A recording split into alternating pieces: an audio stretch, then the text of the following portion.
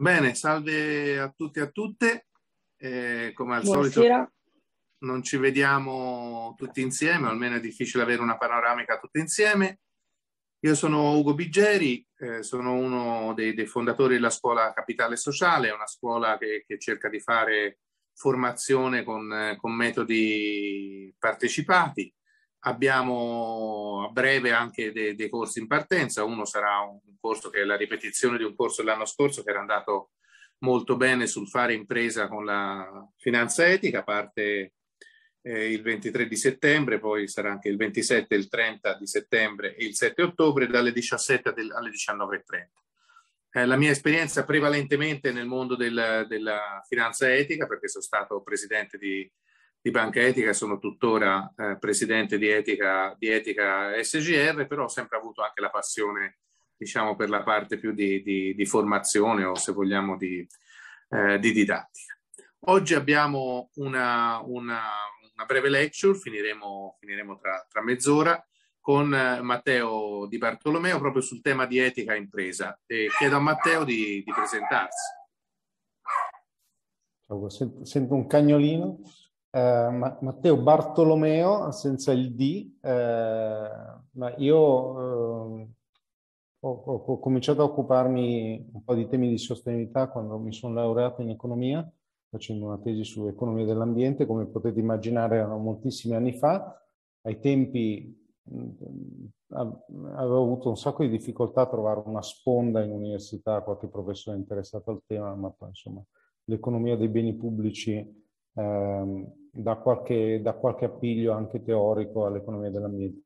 Poi ho lavorato sempre sui temi di ricerca ricerca applicata nel mondo della sostenibilità e nel, eh, nel 97 con alcuni compagni di, di, un, di, un, corso, di un master che facemmo all'estero proprio sulla economia e gestione dell'ambiente, ho aperto una società che si chiama Avanzi, che vive e lotta insieme a noi, quindi eh, l'anno prossimo farà 25 anni, che tratto di strada incredibile, impensabile allora, fa un po' impressione anche guardarlo eh, col senno di poi o senno del durante e questa società si occupa eh, sempre di temi di sostenibilità e di innovazione sociale con vari strumenti.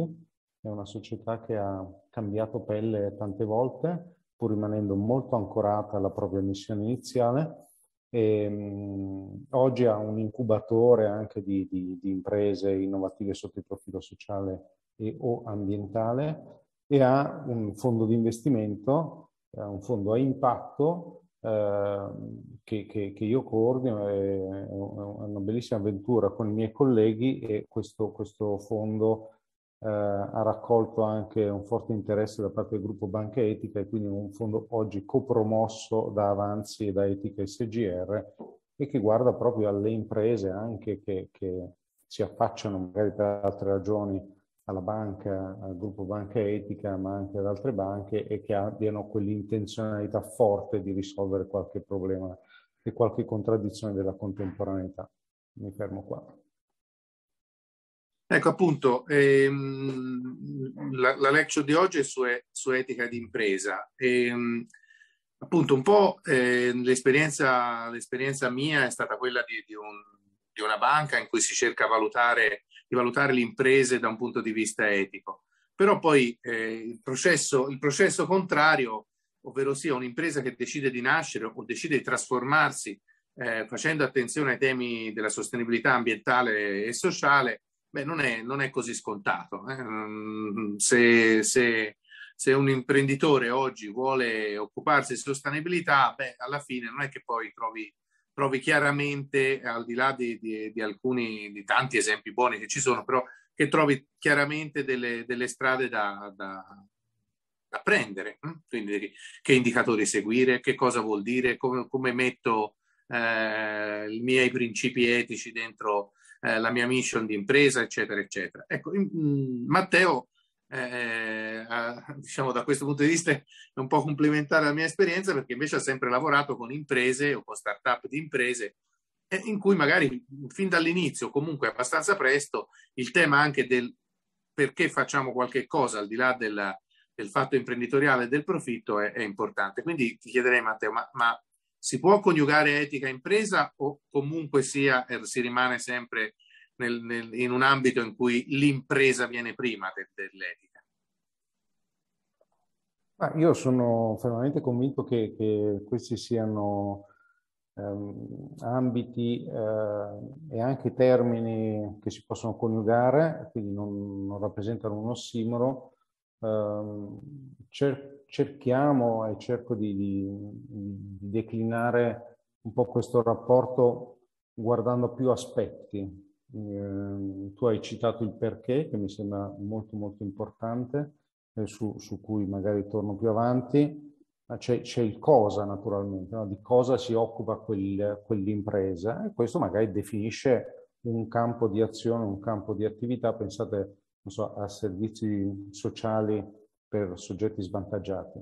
Questo è un cosa ovviamente che da un punto di vista dell'etica è molto forte eh, ci sono tanti cosa che invece sono molto eh, neutrali sotto il profilo etico, eh, oppure ci sono anche dei cose che sono quasi in contrasto. Pensate a un'impresa che so, produce armi, quell'impresa poi magari di fronte anche re, ai rating di, di, di, agenzie che guardano gli aspetti non finanziari dirà ma sono armi per la difesa e non per l'attacco, so, possiamo disquisire a, a lungo. Comunque il cosa ovviamente non è, non è neutrale, però eh, trovo che molto spesso per provare a dare una, una risposta alla domanda che, che, facevi tu, Ugo, ci si concentri anche un po' troppo su che cosa e il cosa rischia anche di essere un alibi talvolta. Cioè io potrei avere anche, essere di fronte a un'impresa che si occupa di problemi sociali, appunto facciamo il caso, prendiamo a caso dei, dei, dei soggetti svantaggiati, ma in verità agisce Uh, sfruttando i propri lavoratori o agisce uh, con un salary gap, come viene detto oggi, no? quindi la differenza di stipendio tra le persone neoassunte e le persone che hanno ruoli apicali uh, con un gap straordinariamente ampio. No? Quindi il come interviene, e se, se dovessimo non solo giudicare ma anche intraprendere eh, un'attività imprenditoriale, come lo facciamo è, è, assolutamente determinante a mio avviso, forse ancora di più certe volte il cosa. Ma peraltro la banca che citavamo prima, cioè Banca Etica, ha dimostrato che il come erogo prestiti che è più, ancora più importante dello strumento finanziario che viene messo in campo, che tutto sommato è abbastanza simile a quello di tante altre banche, comprese le banche armate.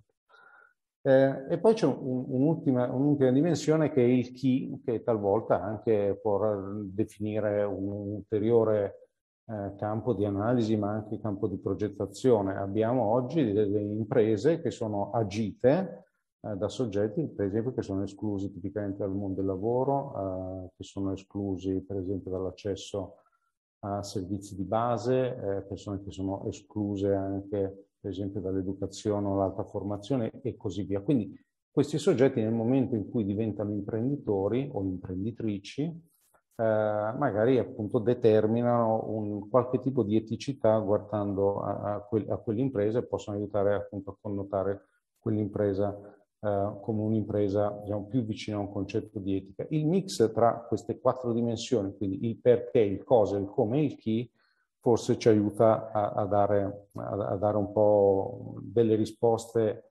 all'interrogativo di Ugo. Oggi peraltro ci sono tantissimi esempi, quando io ho cominciato con la mia, con la mia attività di avanzi, ma anche prima, eh, veramente si faceva molta, molta fatica e tutti ci, ci aggrappavamo, eh, ricordo ad Adriano Olivetti, che poi è tornato in grande auge, ma Adriano Olivetti tutto sommato produceva macchine da scrivere, e, e poi qualche, qualche embrionale computer, quindi se guardiamo al cosa forse non era particolarmente innovativo, chiaramente ha innovato molto il come e per esempio il tema del salary gap l'aveva trattato in maniera molto originale e anche in maniera molto, molto ben definita, ma il come eh, veniva declinato appunto da quella impresa straordinaria che era l'Olivetti di Adriano anche nel senso di sguardo alle comunità locali, sguardo alle famiglie eh, dei, dei, dei, dipendenti come empowerment delle persone, come spazio di contaminazione tra attività industriale e la cultura nelle sue tante sfaccettature. Quindi c'era qualche esempio, pochi in verità, o forse erano meno noti, oggi ne abbiamo moltissimi e quindi l'esercizio di valutare, ma non tanto per diventare dei giudici, ma quanto per forse anche plasmare la propria attività di tutti i giorni, che può essere imprenditoriale o imprenditiva, credo che gli stimoli siano moltissimi. Senti, però per fare, forse a volte, eh, una, almeno nelle conversazioni che abbiamo avuto, eh, giustamente hai, hai, posto l'accento su, sul fatto che, che fare, fare, l'imprenditore presuppone comunque delle, delle attitudini, delle attenzioni, delle, delle capacità eh, che forse non, non, non, insomma, bisogna esplorare meglio perché eh, a volte si, si, soprattutto in certi mondi, magari spinti dalla, dalla, dalla, voglia di fare qualcosa di utile, si guarda molto all'aspetto sociale ma, o etico e ci si, si, si tende a sottovalutare eh, l'aspetto di che cosa sia un imprenditore o appunto un'imprenditrice. Eh, ci puoi dire qualcosa? Eh, indubbiamente è, è, un mestiere complesso, articolato. Eh, nella, nel, nella, mia vita professionale ho fatto, faccio anche quel mestiere lì. Secondo me è un lavoro molto, molto affascinante e che ti, ti pone, insomma, ti sollecita rispetto ad alcune difficoltà, so, la gestione della complessità, il tenere insieme il, la visione con la gestione ordinaria e così via.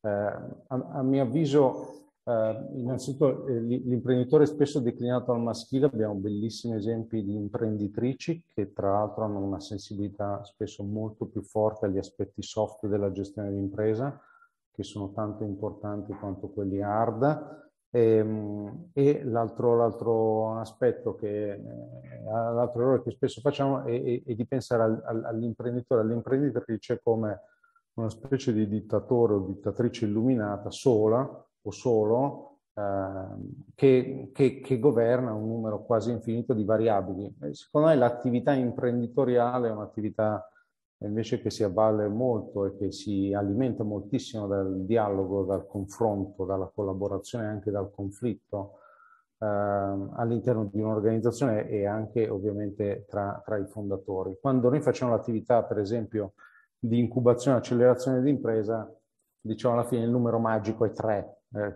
quindi quando arrivano persone, eh, spesso augurabilmente sono gruppi, eh, queste diciamo è, è, meglio se siano tre, poi se sono quattro va anche bene, se sono due va benino, se una persona sola non va tanto bene, quindi il, il solista o la solista non funziona tanto bene, proprio perché la complessità è elevata e perché forse tante attitudini nel percorso, nel viaggio dell'impresa, tante attitudini devono necessariamente mischiarsi, eh, perché ci sono dei momenti in cui la visione è stra importante, ma è molto importante la gestione ordinaria, dei momenti in cui ci sono delle questioni molto spinose sul tavolo, degli elementi di visione bisogna forse un po' metterli da parte e, e così via. Eh, poi mi viene da dire che eh, nella, nell'attività, nell'attività, imprenditoriale ci sono, come in tanti altri lavori, eh, eh, dei, dei, momenti estremamente difficili, eh, anche sotto il profilo psicologico, e quello che ti tiene lì, eh, che ti dice non mollare, prova a risolvere i problemi, a mio avviso è, è, proprio il rapporto con gli altri, che siano quelli dentro o quelli fuori, quindi l'impresa come, come, anche come soggetto politico, se vogliamo, e quindi come soggetto che uh, ha una responsabilità nei confronti dei propri stakeholder, questa, questa, responsabilità l'imprenditrice e l'imprenditore non possono sottrarsi o non devono sottrarsi. Questo forse è anche un pezzo di, di coraggio, è un pezzo di difficoltà del mestiere di, di essere imprenditrici o imprenditori e, e, anche appunto un incoraggiamento, cioè continuare a essere responsabili credo che poi sia una, un, un elemento, un carburante fondamentale per, per, per andare avanti e risolvere quei problemi.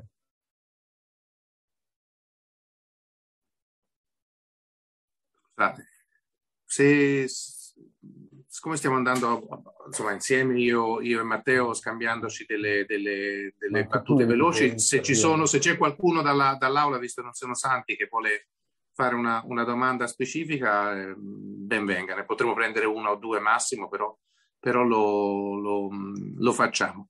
Io ti volevo chiedere qual è il momento secondo te più critico che cui si può trovare un'impresa eh, quando, quando, decide di, di, di, operare secondo attenzioni etiche, se è nel momento in cui deve definire il campo in cui interviene oppure quando si trova a fare delle scelte in cui diciamo da una parte c'è il risultato magari sociale che vuole raggiungere, dall'altra però c'è un, un risultato magari economico che rischia di non arrivare. Ti volevo chiedere se, insomma, se nella tua esperienza quando sono i dilemmi, eh, perché poi dopo è facile parlare in generale cose belle, però poi nella, nella concretezza molto spesso si, si, hanno dei dilemmi etici, delle, delle, difficoltà che si devono affrontare. Se ci puoi fare, boh, se ti viene uno o due esempi.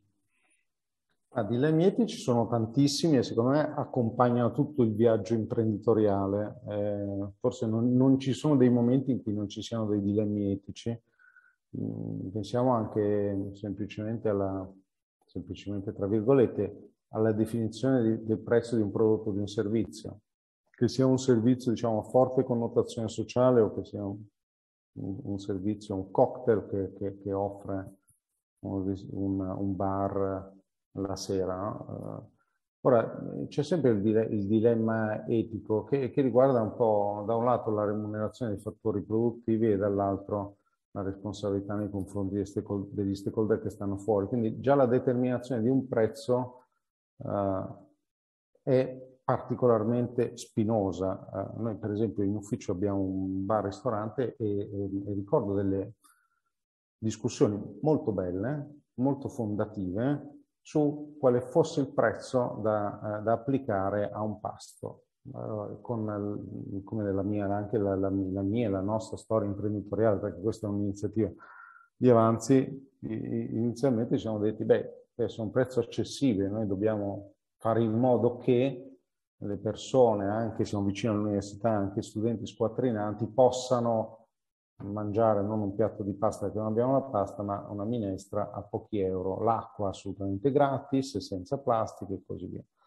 Eh, e ricordo anche che dopo qualche mese, insomma, le difficoltà economiche non erano poche, no? le difficoltà a far quadrare i conti. E qualcuno ha detto, ma non dovremmo mettere magari il coperto, non dovremmo alzare magari il prezzo del, del piatto base. Questi sono dilemmi molto tipici, no? bisogna saperli vedere eh, trattare e, e, ancora una volta insisto sul fatto che se, se, se, se sei sola o solo eh, forse questa cosa la puoi fare fino a un certo punto, cioè hai, devi, devi avere in verità un contraddittorio perché altrimenti come il tuo, il tuo, angolo, il tuo punto di vista diventa quello prevalente, diventa, diventa cieco. Di questi dilemmi etici ce ne sono molti, molti, altri, eh, anche in una fase molto embrionale, molto iniziale di impresa e non solo questo della formazione del prezzo per una, per una minestra e poi quando un'impresa, un'impresa cresce, per esempio, rispetto ai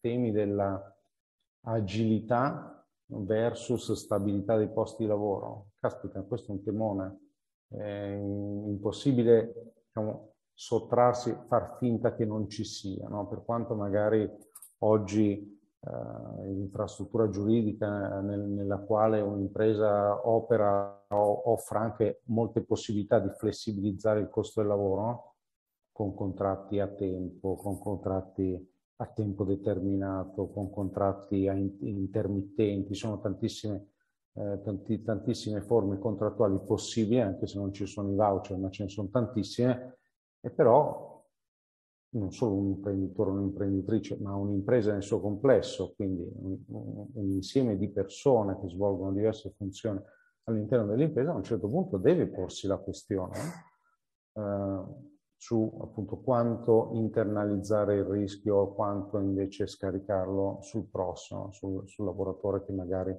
ha una condizione anche di fragilità temporanea de- derivante per esempio da una maternità o da una paternità. Quindi dilemmi etici veramente ne abbiamo tanti. Mi fa piacere anche guardando insomma, il programma che, che, che, che, Ugo mi ha passato del corso, che inizia tra, tra qualche giorno, che proprio sui dilemmi etici si insiste molto perché è un esercizio quotidiano che va fatto, ma si può cominciare a farlo anche un pochettino in vitro. Ho visto che c'è una mano alzata, Lorenzo, Lorenzo Vinci, che tra l'altro anche lui ha una discreta esperienza di valutazione di imprese con criteri sociali e ambientali. Prego Lorenzo. Bu- buonasera, buonasera Ugo, buonasera Matteo, un piacere sempre rivedervi. E, ehm, volevo tornare sull'interessante tema che avete toccato prima sulle caratteristiche degli imprenditori barra imprenditrici per sottolineare, per chiedervi, pardon, cosa ne pensavate del fatto che si fa sempre anche troppo poco riferimento al gruppo di imprenditori cooperativi, ovvero io sono stato anche amministratore di realtà complesse eh, cioè non enormi, comunque abbastanza grandi, più di mille soci in una struttura di finanza etica con sede a Torino, tanti anni fa, dove eh, a me ha colpito in particolare, Matteo, quello che dicevi, tre, non più di tre. Io mi trovavo bene e sono riuscito a lavorare, direi decentemente, almeno guardando i bilanci della struttura dell'epoca, perché eravamo molti più di tre ma eravamo parecchi e l'intelligenza collettiva è quella a cui io mi affidavo e che ritengo che mi avesse salvato. Un, un'altra cosa su cui non so quanto voi riteniate sia importante porre l'accenno, porre l'accento è, è legato al fatto che ehm, le idee migliori, che comunque dal mio punto di vista ries- hanno più probabilità di funzionare sono quelle che coinvolgono i soggetti, gli stakeholder, sin dalla fase iniziale. Di nuovo per citare un'avventura che ci ha visti all'epoca eh, partecipare insieme con Ugo, per non fare nome alla Costituzione di Banca Etica, dove la, la, non solo eravamo esponenti di realtà fondatrici molto più grandi dei, dei singoli personaggi, io o altri, ma c'è stato questo aspetto vincente di coinvolgere i risparmiatori e i prenditori di credito sin dalla fase progettuale. Quindi mh, mm, cosa ne pensate del sottolineare l'importanza dell'intelligenza collettiva? Grazie. Lorenzo, eh, forse ho, ho, espresso male, no? Il, e grazie per aver sottolineato questa incongruenza. Um, io parlavo di, un, di, un'esperienza diretta dell'incubatore acceleratore dove arrivano dei, dei, dei, gruppi, poi non vuol dire che alle spalle ci siano molte altre persone, però in una fase iniziale adesso permettetemi la semplificazione, c'è qualcuno che tira la carretta, c'è qualcuno che si sveglia ogni mattina con quel pensiero lì, con quell'urgenza, poi ci sono tanti altri che supportano quella, quelle iniziative, quelle energie e sono coimprenditori o coimprenditrici. A noi non arrivano mille, no? quando facciamo incubazione e accelerazione appunto ne arrivano uno, due, tre, quattro, cinque, qualche volta anche gruppi più ampi. Quando abbiamo dei gruppi più ampi, ahimè, succede che qualcuno si perda per strada, no? E quando qualcuno poi molla, gli altri dicono ma cosa faccio? Rimango col cerino in mano. Però in verità io facevo riferimento provando a, a tirare fuori quell'esperienza che può essere anche aneddotica per dire uno no, non tanti no. Una, una, persona sola, secondo me, anche di fronte ai dilemmi etici di cui parlavamo, ma anche rispetto alle difficoltà psicologiche del percorso imprenditoriale, forse non si trova con tutti, con tutti gli, gli, strumenti uh, per, per, uh, per, gestire quel processo imprenditoriale. Poi io dico sempre, per me fare impresa è un viaggio, uh, poi c'è chi ama fare il viaggio da solo, no? perché o da solo, perché così autodetermina il proprio destino. personalmente, anche quando mi capita di fare un viaggio da solo, non lo faccio spessissimo, però mi interessa incontrare altre persone. Quindi in quel viaggio incontrare altre persone, condividere, magari fare un pezzo di strada insieme o ridefinire la meta mi sembra molto intrigante. No? Quindi eh, anche, anche, lì il viaggio, vi, viaggiare in gruppo è una cosa che ti espone dei compromessi no? talvolta, però è di una ricchezza straordinaria. Quindi non volevo assolutamente sminuire il ruolo del gruppo e dell'intelligenza collettiva. Mi piace anche quella cosa che dicevi cioè rispetto alla, al coinvolgimento degli stakeholder, degli utenti e così via. In tante iniziative imprenditoriali che vediamo questo è implicito o esplicito. Dico implicito perché forse ancora una volta abbiamo un, uno sguardo miope o abbiamo un forte bias, però quando vediamo progetti in cui c'è una fortissima intenzionalità sui, sui temi ambientali o sociali, eh, è abbastanza frequente che questa intenzionalità sia una, una risposta a delle ferite, talvolta anche delle ferite davvero profonde. Adesso non voglio fare, fare, fare degli esempi perché, e suscitare un facile pietismo, però delle ferite profonde che hanno segnato la vita di una persona e quella persona vuole trovare una soluzione affinché quelle, quelle ferite si rimarginino o, o, non si presentino più per nuovi soggetti. Allora, questo è, è un coinvolgimento, se vogliamo, implicito di possibili utenti di quel particolare servizio, di quel particolare prodotto, ma talvolta appunto il coinvolgimento è molto esplicito. Nel settore della cooperazione, per esempio le cooperative di consumo sono il classico esempio no? di, di, di, coinvolgimento anche diretto, immediato, immediato nel senso anche di non mediato di, eh, di soggetti che sono poi beneficiari di quel servizio. Sì, io, io penso anche, eh, le, diciamo, c'è un tema del, no, il, i proverbi, ora scusa, non, non, vi sembra una banalizzazione, no? I proverbi dice chi, so, chi, fa da sé fa per tre.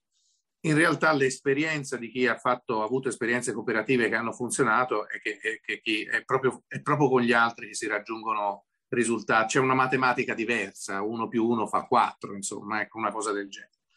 Ecco, proprio perché c'è una matematica diversa, eh, non bisogna però, quando si fa impresa in modo collettivo e con altri, eh, sottovalutare l'importanza della costituzione del, del, gruppo, della definizione chiara degli ideali che si vogliono perseguire, perché eh, se è vero che uno più uno fa quattro, eh, è anche vero che a volte basta un 5 meno 1 per fare due, perché il, il, il, i potenziali no, eh, conflitti che si trovano all'interno di un gruppo dirigente o di un gruppo cooperativo, eh, se non risolti, possono portare, possono portare veramente a, a una demotivazione, demotivazione generale. Questo lo dico semplicemente per dire, ecco, se dovessi dire in una parola che cosa stare attenti quando si fa un'impresa collettiva, quindi cooperativa, eh, bisogna avere cura, molta cura di come si costruiscono i processi tra le persone eh, che hanno deciso di fare questo, questo, cammino insieme, perché se si approccia,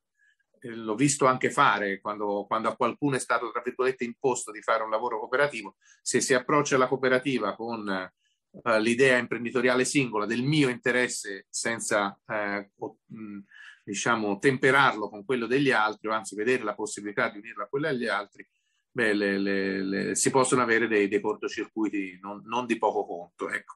Questa è l'unica cosa che mi sento di, di, dire, però concordo assolutamente che se si fa attenzione a queste cose, beh, anzi, può essere anche che l'indirizzo etico che viene dato di solito rimane molto più stabile, ad esempio, in una cooperativa, dove cambiare l'indirizzo etico è molto più complesso che in una SPA una SRL, in cui l'amministratore può decidere di, di cambiare, di, o i, i, pochi soci possono decidere di cambiare linea. Ecco, una cooperativa è decisamente più stabile da questo punto di vista. Aggiungo una cosa, uh, Ugo, um, proprio sul connotato etico o la dimensione, l'intenzionalità sociale o, o ambientale nell'organizzazione. Um, uh, per, per, quello che ho visto, uh, nella maggior parte dei casi, forse stra, stragrande maggioranza dei casi,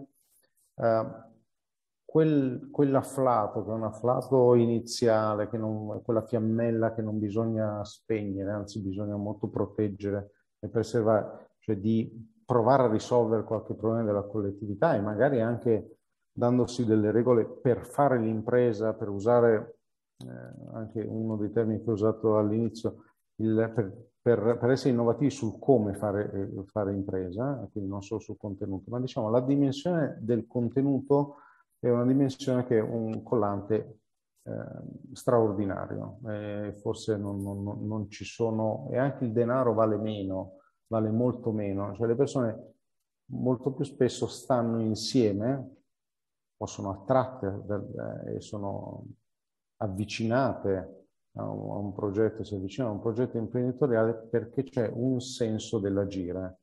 Eh, nella cultura anglosassone adesso c'è un po' un abuso del tema purpose, ma il senso dell'agire. Cioè un'organizzazione che abbia un senso dell'agire, un'organizzazione che a parità di altre condizioni, a mio avviso, resiste ai, ai terremoti, ha appunto un, dei, dei, dei legami Uh, molto forti, sia uh, bonding che bridging, tra l'altro, no? sono legami, ma soprattutto quelli bridging, sono dei, dei legami molto, mo, molto forti, quindi ha un capitale sociale, per usare un termine che non va confuso col capitale sociale della cultura di, dell'economia aziendale, ma ha un capitale sociale molto forte. Questo capitale sociale, secondo me, è il più grande asset che un'organizzazione può avere.